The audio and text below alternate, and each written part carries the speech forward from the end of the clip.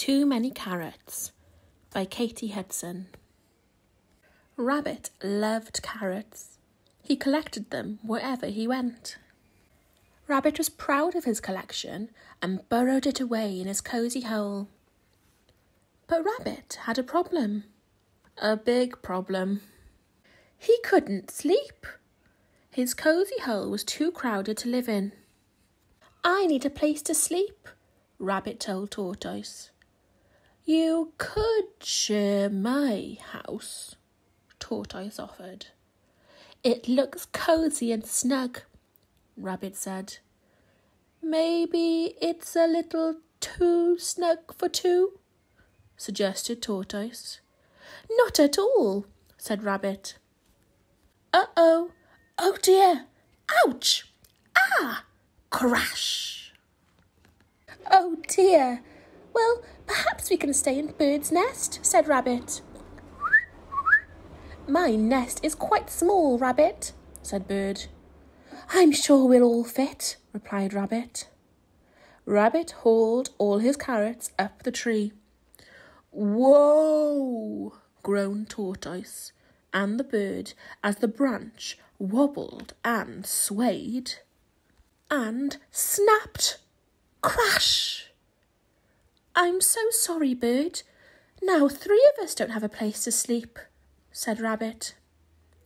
You can sleep in my house, offered Squirrel. Oh, thank you, Squirrel. How kind of you, said Rabbit.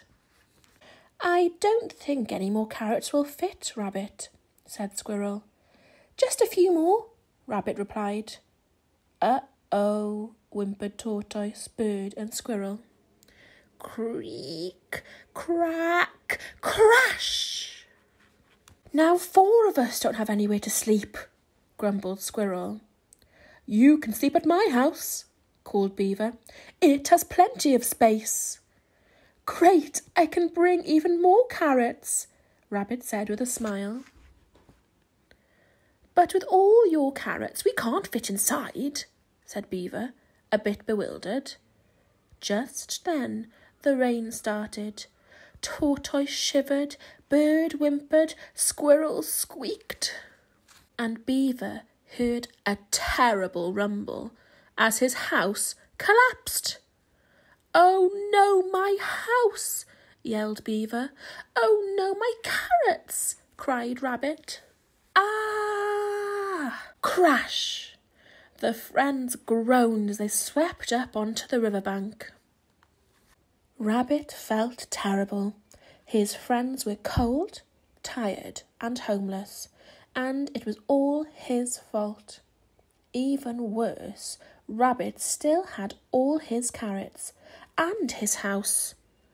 And that's when he realised there was only one thing to do share everything with his friends. After all, carrots weren't for collecting, they were for sharing. And sharing made everything better.